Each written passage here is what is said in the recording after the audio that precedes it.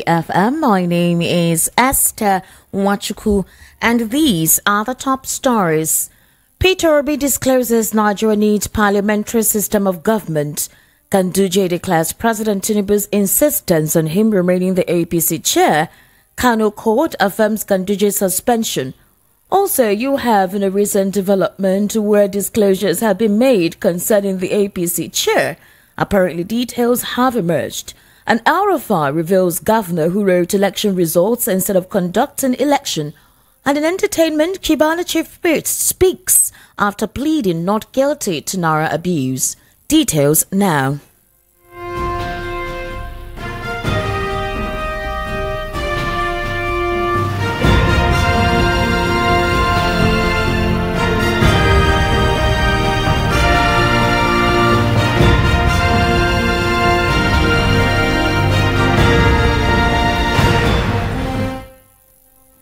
Welcome back. The World News at 12 begins with the Labour Party 2023 presidential candidate Peter Obi calling for a parliamentary system of government where the president can interface with citizens at least once a month. He spoke at a lecture at Harvard Law School in Boston, Massachusetts, United States of America, where he advocated for a parliamentary system of government in Nigeria. Peter Obi noted that the presidential system is not working well in Nigeria, hence the country continues to have bad leaders who stay in office for four years without being accountable to the people. He said, unquote, what happens is, because of the presidential system that has no president in Nigeria today, we have a bad leader, and he stays there for months and years. When we have a parliamentary system, we can move a motion of no confidence within two or three years. If we are in a parliamentary system, a president will be a member of parliament. End quote. Elsewhere, the All Progressives Congress National Chairman Dr. Abdullahi Umar Ganduje has revealed that President Bola Ahmed Tinubu has assured him that his position as the party chairman remains unchanged. Ganduje, while addressing Kano State APC officials at his residence in Abuja, said that he met with President Tinubu on Monday and the president reaffirmed his position as the party's national chairman. The APC had pointed an accusing finger at the Kano state governor, Abba Yusuf of the New Nigerian People's Party, over the purported suspension of the party chairman from his word in the Dawakin Tofa local government area of Kano state. The party further revealed that Yusuf is sponsoring imposters to cause mayhem in Kano after, uh, after launching a despicable program of political persecution against Ganduje.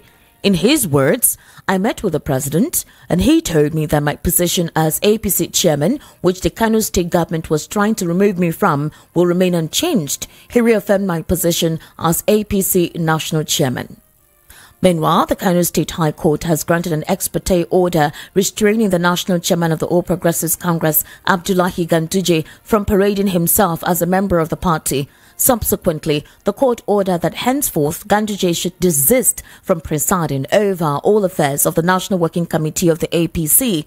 The application granted by Justice Usman Naaba on Tuesday followed an ex parte motion filed by Dr. Ibrahim Saad on behalf of the two executive members of Ganduje's ward, Dawakin Tofa local government area, the Assistant Secretary Laminu Sani, and the legal advisor Haladu Gwanjo, who reserves as the plaintiffs. They were part of the nine ward executives who suspended Ganduje on Monday. The court directed the four parties who were the respondents in this matter joined, including the APC, the National Working Committee, APC Kano State Working Committee, and Ganduje to henceforth maintain status quo antebellum as of April 15, 2024, pending the hearing and determination of the substantive suit on April 30, 2024. Justice Naaba also held as prayed stopped the State Working Committee APC Kano from interfering with the legally and validly considered decision of executives of Ganduje's ward, essentially an action endorsed by a two-third majority of the executive as provided by the party's constitution.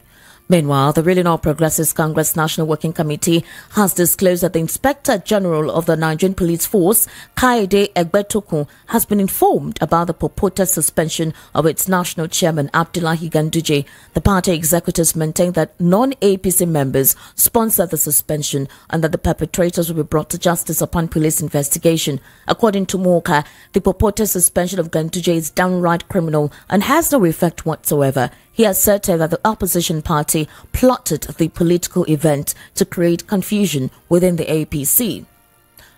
Now, in another development, former Kaduna State Governor Nasir El-Rufai has accused the Northwest Governor of writing election results instead of conducting free and fair elections.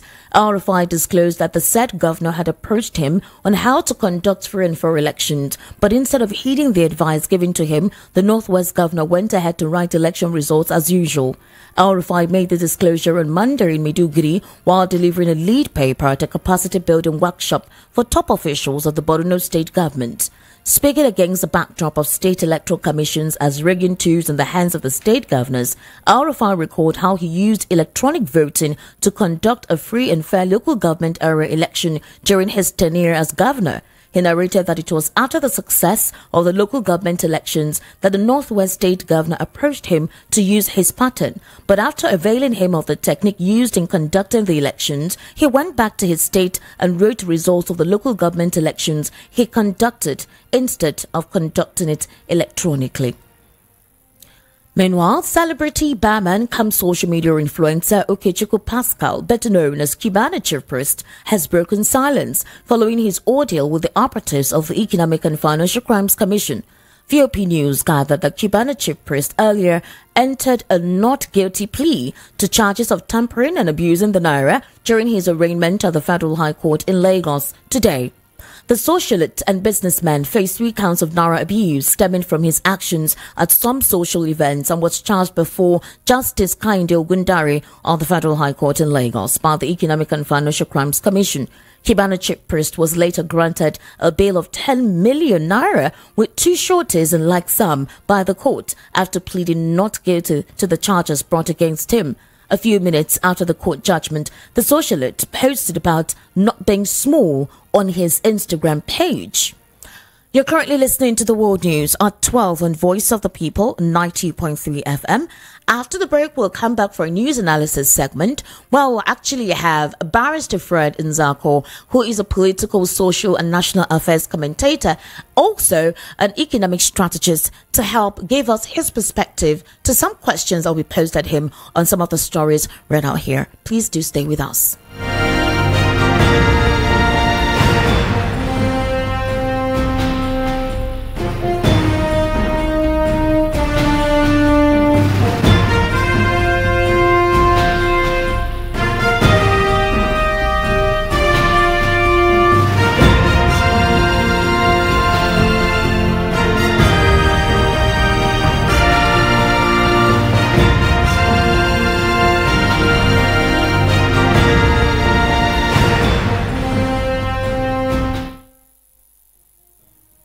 Welcome back. This is still the world news and actually have via the telephone a legal practitioner, a political and national affairs commentator and an economic strategist and that's Barrister Fred Nzako. Barrister Fred Nzako, good afternoon and thank you for joining me for the world news at 12. Barrister Fred, can you hear me? Hello. Yes, hello, Barrister Fred. Good afternoon. Thank you for joining me for the world news at 12. Thank you. Thank you. Good afternoon. Good yes, to be with you. Good afternoon. Good to be with you too. Barrister, let's head on into the crux of the matter. We're starting off with Ganduje.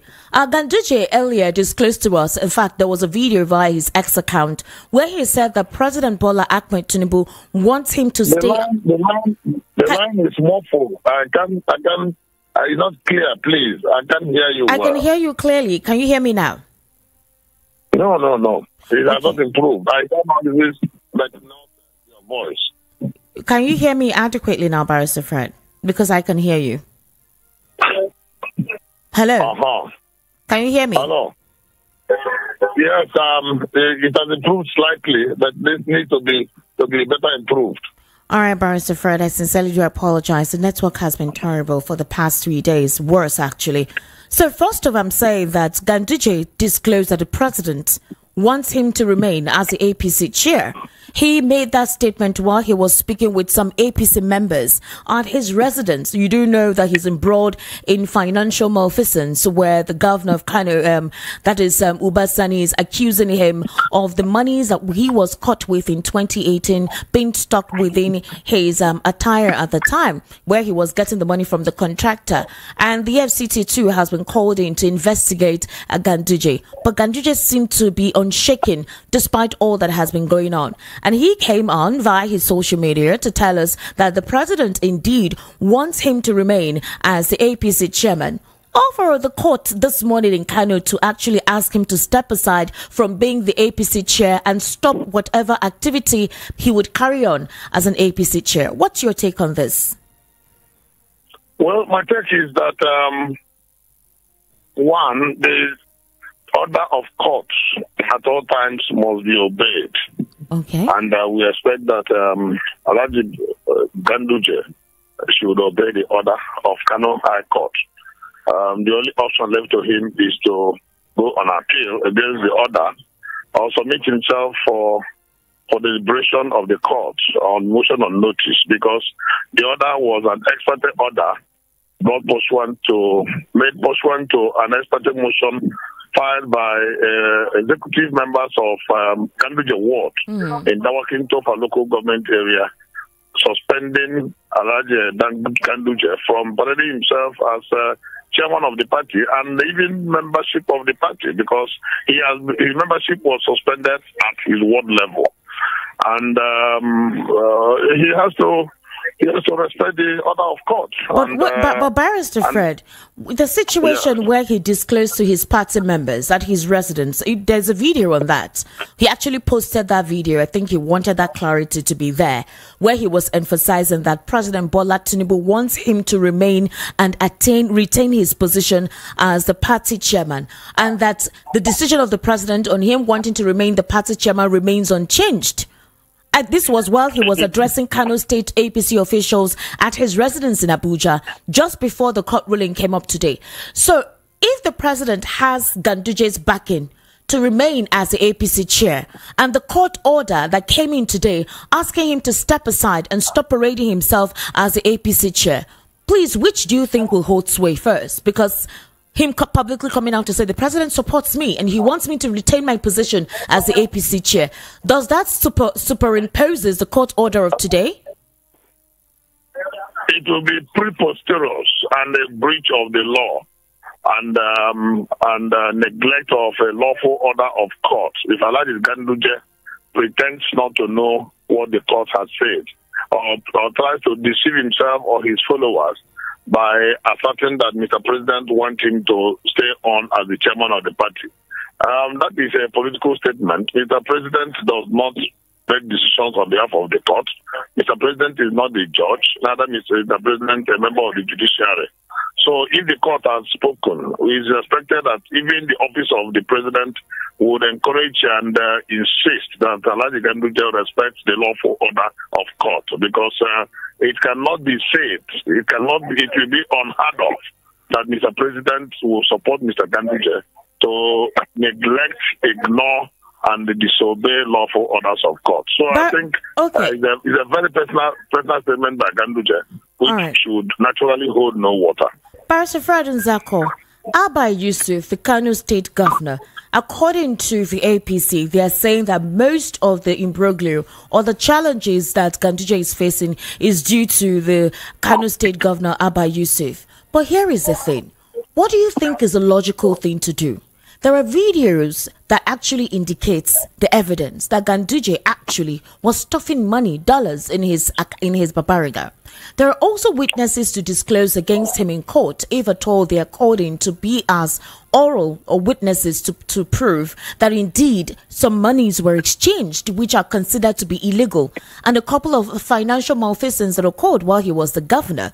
So if that is in place, is it not ideal for the National Working Committee of the APC, including the president, to advise Ganduje to step aside Possibly an internal investigation will be carried out, or while the case is cleared out before he's reinstated. Why would the president, despite all of this being put ahead, in case of Ganduje, still affirm his position by saying that Ganduje's position remains unchanged?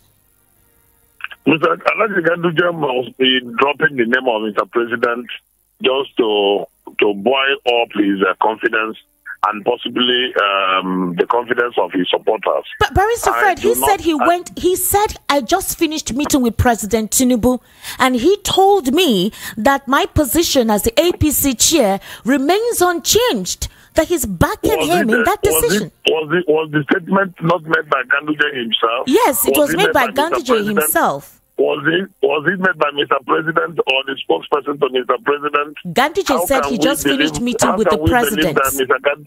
how can we believe that Mr. Ganduje was putting exactly?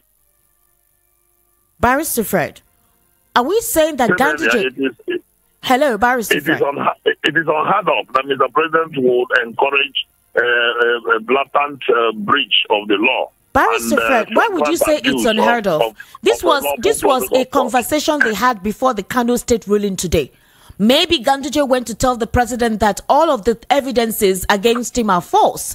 And the president says, okay, fine, you are my friend and I know you, I trust you.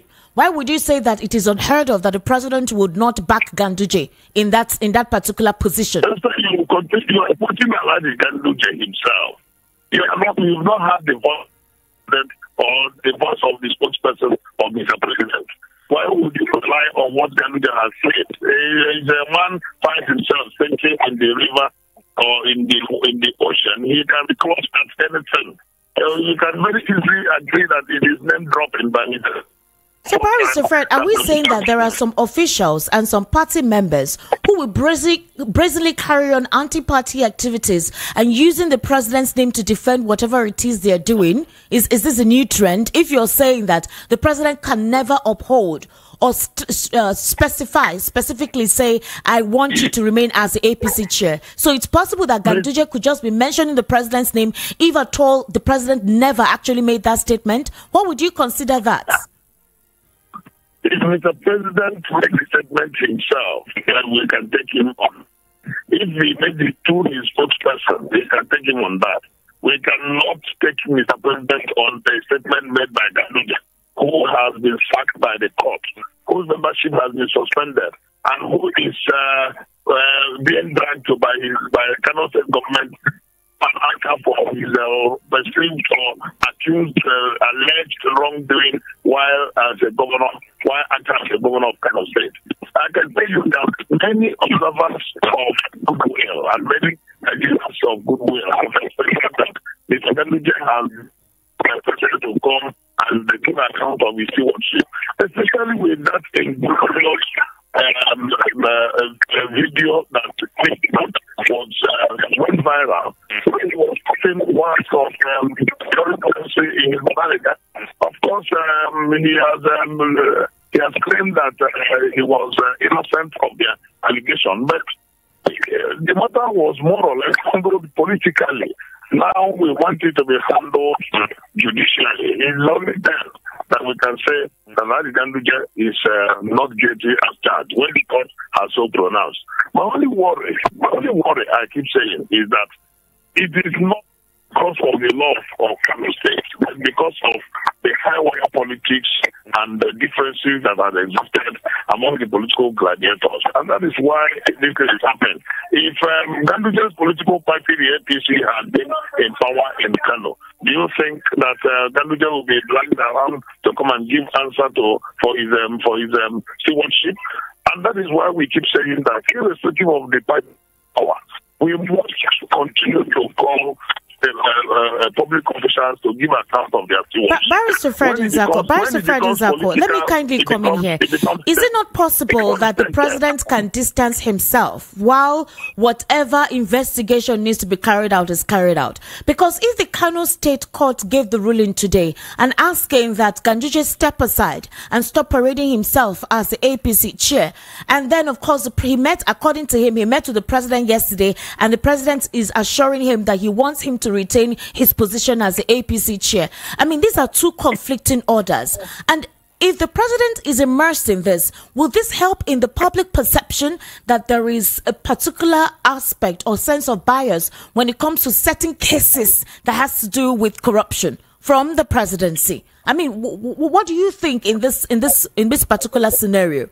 President is saying, I want you to remain as the APC chair. The following day, the court says, stop parading yourself as the APC chair. Shouldn't the president have distanced himself at all? Will Ganduje just say he why had a do, conversation with the president without actually having any? Why do you why do you believe the statement of Ganduje?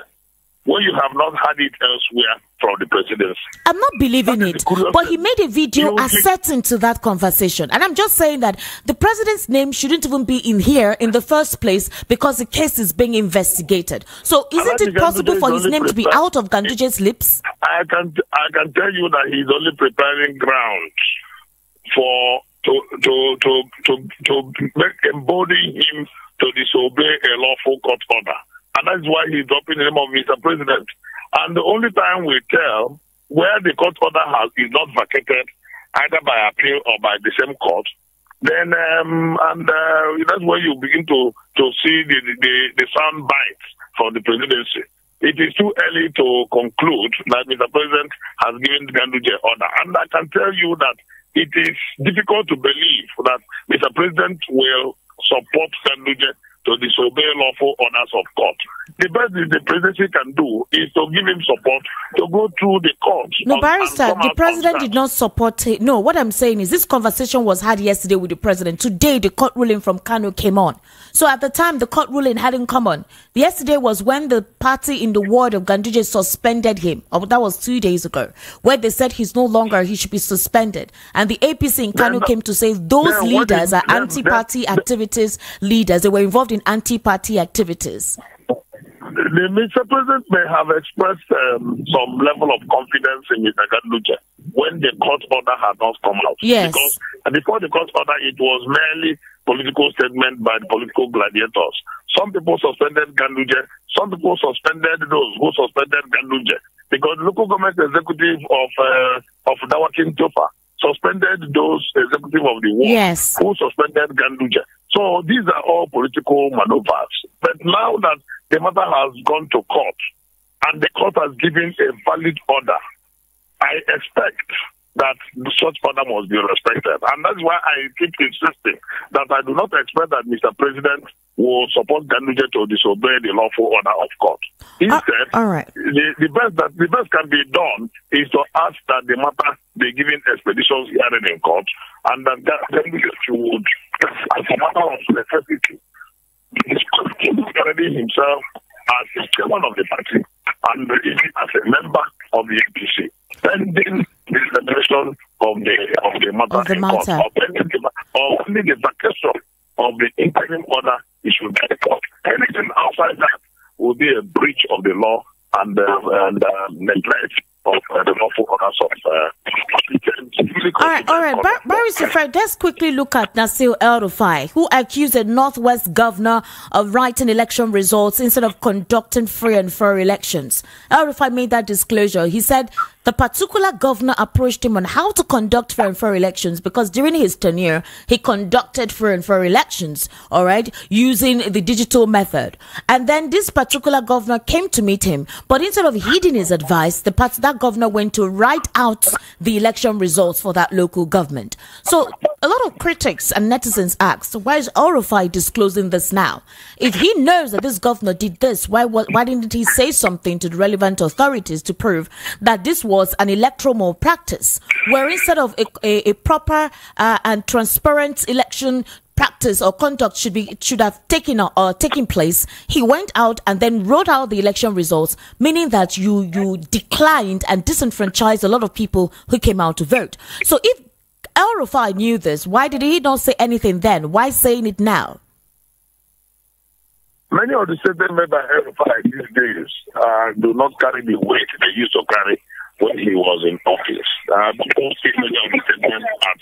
lot of a man who has been frustrated by by failure to achieve his um, um, his uh, target, uh, especially the target of being a minister, and uh, who seems to be running riots against the, his uh, political party. Now, it, but despite that, it is very obvious. It's, it's not a hidden secret that there is no credible local government election in Nigeria since 1999. I say this with all sense of responsibility that no governor or ex-governor can beat his chest and say he conducted a credible local government election. None since 1999. And that is why, because of these um, actions of, um, of uh, lack of democracy and the level of the local government and lack of credibility of elections at local government level, the local government system has been left comatose, not made worse, made worse essentially by a section of the constitution that has allowed the state and local government joint account, the one they call JAC. And uh, until the stranglehold of the governors and local government system is released, that system of governance, which is very important, crucial, and the closest to the people, can never breathe. And no governor, I repeat, can claim to have conducted a credible government election. And that is why in every state of Nigeria, the, the, the party in power wins between 95 and 99 percent of all local government elections. The other 5 percent or thereabouts is uh, for the state of it, so that it will look as if there was a contest. All right, Barrister Fred, we, have actually run out of, them, time. The, the, the final, the final question I want to ask in regards to this case, Barrister Fred Nzako, the final question I want to ask in regards in this case is, you have actually come out to the press to disclose that a governor came to meet you to seek your advice on how to conduct a free and credible election. This governor did not apply the advice you gave him, rather went and used his hands and wrote down the election results. This is what you would call electoral malpractice. And this is against the backdrop of states' electoral commissions as rigging tools in the hands of state governors. This approximately reflects on a lot of critics and speculators who also do not trust the system at the federal level when it comes to conducting general elections by the president and for governorship. If this particular governor could do this. So the question is, if El Rufai, who says as a committed and stand-up citizen, knows this, why is he coming now out now to say this? Why not at that time? So that the due process in terms of investigating this governor can be carried out. Why keep quiet when injustice is being carried out? Everybody is only trying to romance his ego and remain in the news um, for whatever value he feels he's getting from that. His accusation of um, such a governor writing results is a highly watered one because he's only trying to use that opportunity to impress the public that he conducted an election. We all know that even he, as a governor of Kaduna State, never conducted a credible local government election.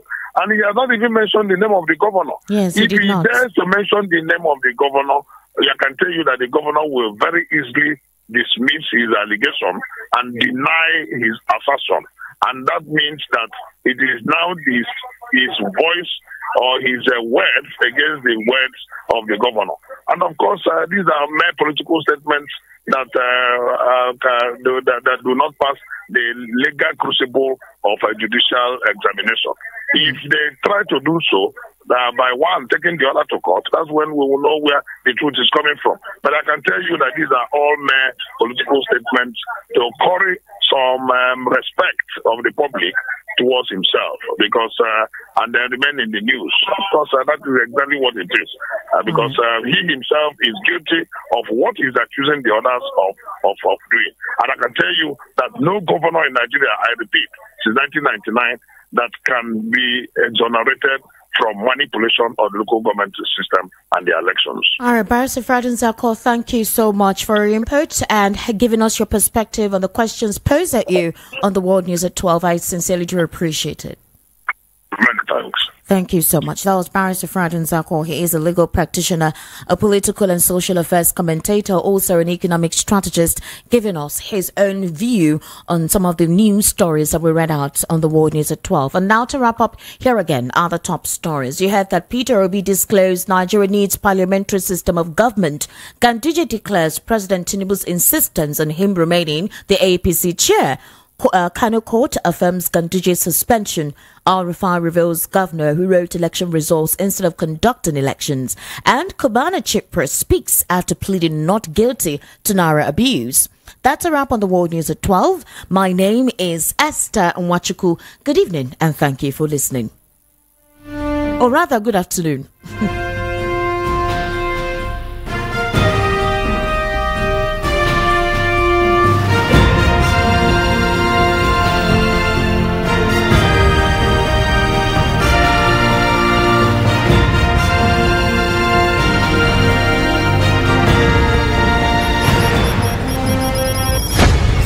VOP 90.3 FM. Voice of the People Radio.